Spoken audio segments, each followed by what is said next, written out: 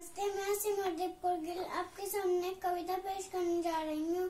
इस कविता का नाम है, मैं मैं बेटी हूँ, उपाड़ हूँ। मैं बेटी हूँ, उपाड़ हूँ।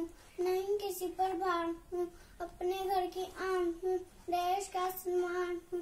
मैं ममता हूँ, मैं स्नेह हूँ। मैं प्रेरी हूँ, मैं प्रेरणा हूँ। मैं डॉक्टर हूँ, मैं सैनिक हूँ। मैं वैज्ञानिक, में आने वाला कल भी हूँ। मैं बेटी हूँ पार हूँ। नहीं, किसी पर भार हूँ।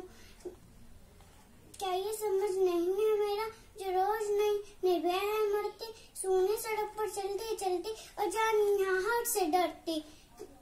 निर्भा काली बन निर्था काली बनकर मैं खुद की ढाल बन जाती हूँ। नित्य नहीं, ऊंचाई हूँ मैं, बेटी हूँ, मैं संघर्ष हूँ। Thank you, everybody.